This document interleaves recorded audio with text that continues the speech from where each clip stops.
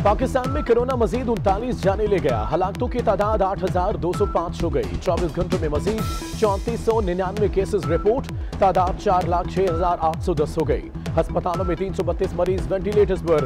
वज़ीर कानून फरोग नसीम और अदाकार बहरोज सब्जवारी भी कोरोना से मुतासर।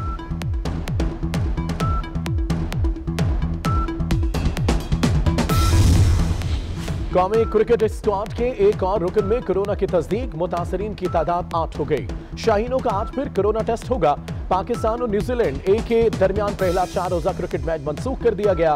पाकिस्तान टीम 14 दिसंबर को क्विस्टाउन और ऑकलैंड जाएगी। पहला टी ट्वेंटी अठारह दिसंबर को खेला जाएगा।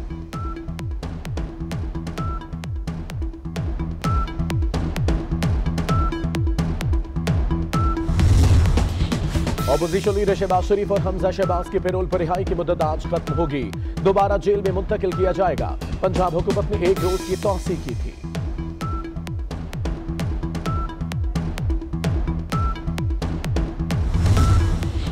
सबक वज़ीर आज़म मीर जफरुल्ला जमाली की नमाज़ जनाजा आज शाम चार बजे रुझान जमाली में अदा की जाएगी। मैयत एंबुलेंस पर रुझान जमाली पहुँचा दी गई। सदर वज़ीर आज़म सबक सदर आसफ अली जरदारी, चौधरी शुजात, परवेज इलाही, आर्मी चीफ का इजहार अफसोस।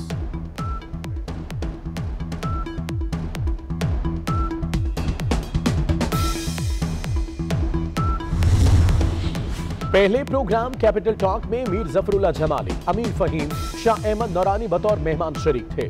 प्रोग्राम में अगले वज़ीर आज़म पर बात की गई थी। तीनों मेहमान वज़ीर आज़म के उम्मीदवार थे। कुछ दिनों बाद जफरुल्ला जमाली वज़ीर आज़म बन गए। आज तीनों इस दारे फानी से कूच कर चुके हैं। सीनियर सहाफी हामद मीर का ट्वीट।